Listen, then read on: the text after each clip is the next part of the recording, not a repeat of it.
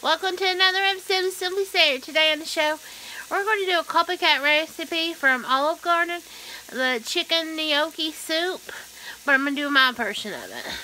So I'm going to do it follow exactly like the copycat. Let me get you, there you go.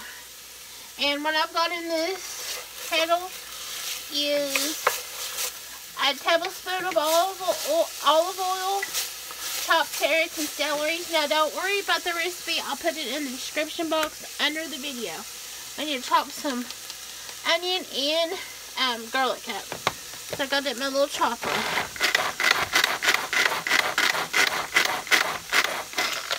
Okay. Let me put my onion, onion in. Okay. Let me get that all in there. Now, the only thing I'm doing different to the soup that Olive Garden doesn't does Olive Garden doesn't do is I'm adding mushrooms. So we're following it to the T until I add mushrooms in it.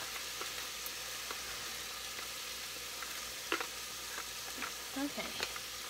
Okay. Got my onion in there. Okay. Now we're going to saute that for a couple minutes my big kettle here. Turn it back up. So I turned it down a little bit because it's getting a little bit too hot. Okay.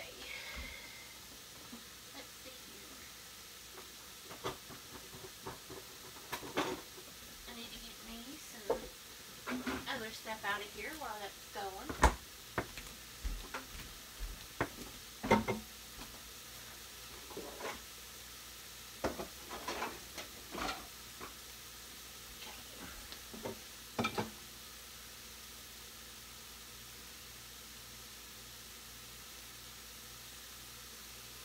we're just sauteing that for two to three minutes.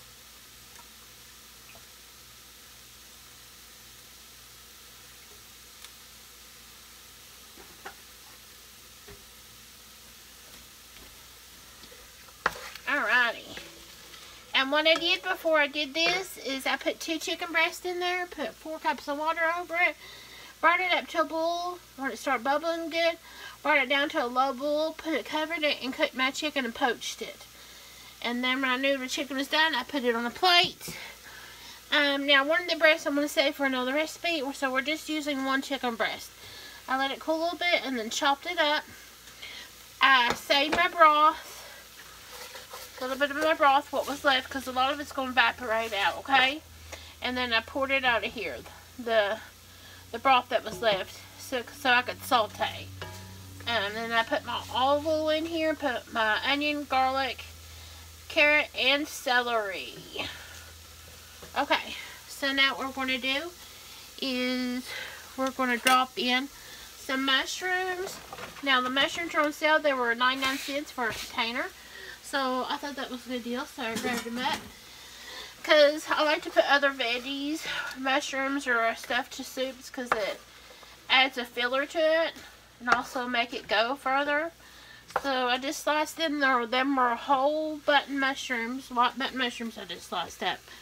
We're going to put our chicken breast, and it was kind of giant one, so that's why I used just one. Now, you don't have to use chicken breast. You could use chicken thigh, whatever you want. Now, what we're going to do is we're going to put over the chicken broth and I put a little bit, because it wasn't enough, I wanted, I needed about a quart, which is um, four cups. And so it only brought like that much, because where it reduced so much. So I had more water, and then put bouillon in here. So let me get my, little bit of my bouillon out of the bottom. So you might need a little bit more than four cups. It just depends. You need liquid to float your, cook your stuff in. So I think I'm going to do actually two quarts because we've got to put our potato gnocchi in here. So I'm doing two quarts. I want it more soupy than what Olive Garden does. So you just do it however you want to. So I'm just adding water and then I'm going to put a little bit of chicken bouillon. More chicken bouillon.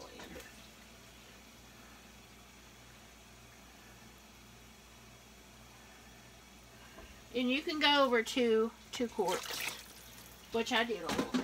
So let me get my chicken bouillon out of here. And I'm going to turn this up so it'll start heating up too.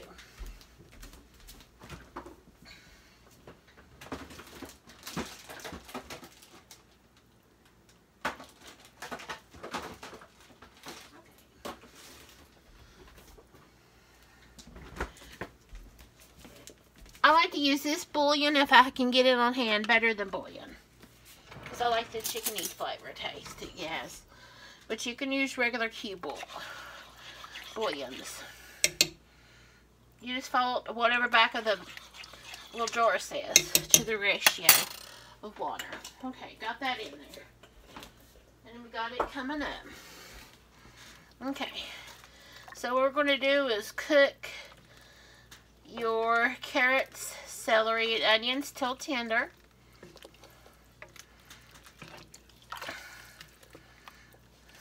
And then when they're tender, I'm going to come back and we're going to put in the potato gnocchi that I got at the Dollar Tree. Other grocery stores carry it too. It's just like little potato dumplings. And they usually cook about two or three minutes. They'll tell you on the pack of pack. So it don't take very long for them. And then we're going to wilt in some spinach leaves when I come back. And then we're going to put in a little cream and some some seasoning. So let me put some seasoning now. I want some salt. Now I know how much this bouillon is because I work with it a lot. Salt and pepper to taste. And then we're going to put a teaspoon of thyme in here.